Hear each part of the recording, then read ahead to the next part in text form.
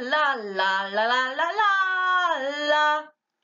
Joj, moja ušesa, zakaj kvariš tako lepo jutro s svojim prepevanjem? Cofko, no, če pa greva danes na obisk glasbeno šolo, tako se že veselim. Glasbeno šolo?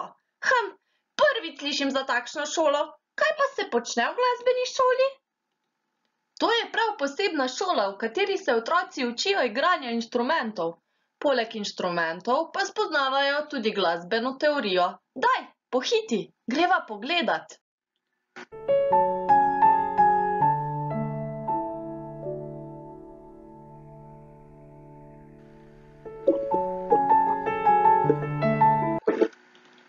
Kako prijeten zvok prihaja iz te učilnice.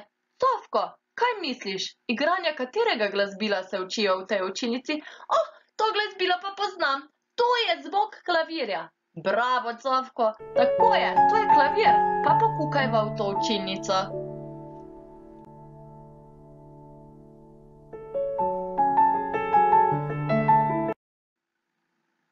Poglej, to je klavir. Ta klavir ima oseminosemdeset tipk, nekateri pa jih imajo celo dvaindevetdeset. Zato je klavir glasbilo s tipkami. Njegovi sestavni deli so resonančni trup, okvir, strune, mehanika, omara, tipke. Zakaj pa so nekatere tipke bele, nekatere pa črne? Bele tipke so za naravne tone, črne tipke pa so za zvišane in znižane tone. razumem. Cofko, ali se želiš tudi ti preizkusiti v igranju klavirja? Ja, rad bi poskusil.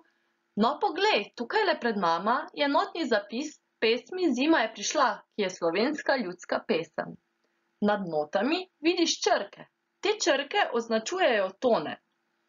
Poglej si tudi klaviaturo, na kateri so napisani enaki toni, kot so zapisani nad notami. Tako boš vedel, katero tipko moraš pritisniti.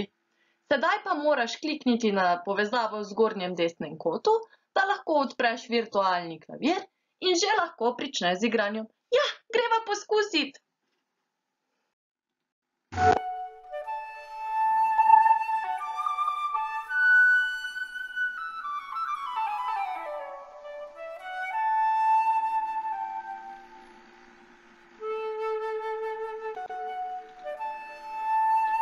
Natalija, slišiš ta prelep zvok, tako kot da bi poslušal žgolenje ptičkov?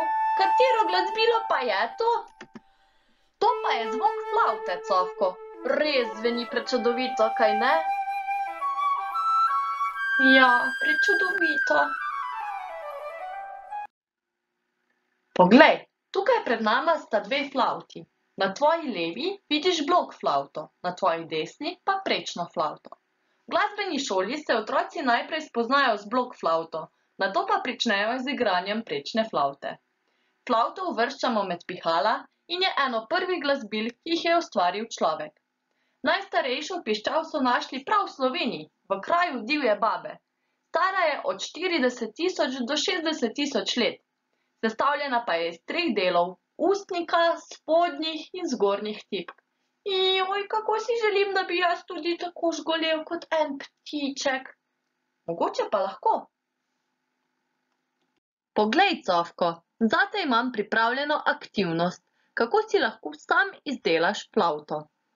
Potreboval boš tri cede zgoščenke, ravnilo, flomaster, škarje, lepilo, skodelico za kavo, cev iz trdega kartona, vrtalni stroj, luknjač in pištolo z vročim lepilom. A pozor, pri delu boš potreboval pomoč starejše osebe. Jasno, Cofko? Ja, jasno, samo da bom ustvarjal.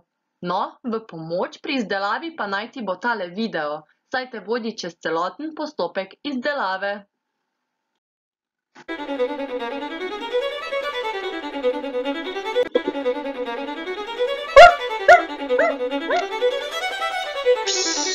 Cofko, poslušaj to. Mislim, da je to zvok violine. Tako lepo zveni. Violina? Sploh se mi ne sanja, kakšna je violina. Pridi, hitro pokukajva v učilnico. Ja, pojdiva. Poglej, to je violina. Uvrščamo jo v skupino godal in je najmanjša med njimi.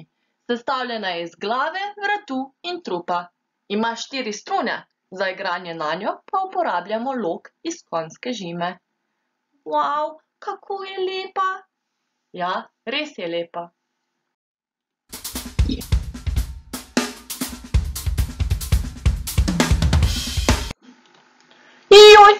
kakšen glasen zvok pa prihaja iz te učilnice.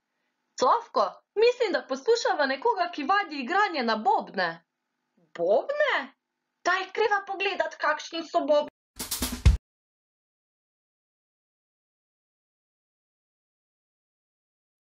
Vidiš, tole so bobni. Sestavljeni so iz malega bobna, nekaj prehodnih bobnov in velikega bobna ter činel. Nanje igramo z udarjanjem na paličice. Zato jih uvrščamo v skupino tolkal. Ja, tolčemo po njih. No, ne ravno tolčemo, udarjamo, Cofko.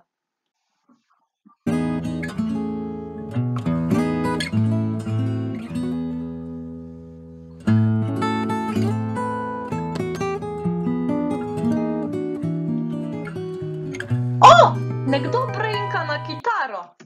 Bravo, vidim, da si se že veliko naučil, da ti gre prepoznavanje zvokov različnih glasbil zelo dobro od rok. Poglej, to je pa kitara. Spada v družino brenkal. Navadno ima šest strun. Sestavljena je iz glave, vratu in trupa. Nanjo igramo tako, da brenkamo na strune prsti ali pa s trzalico. jaz bi tudi brenkal.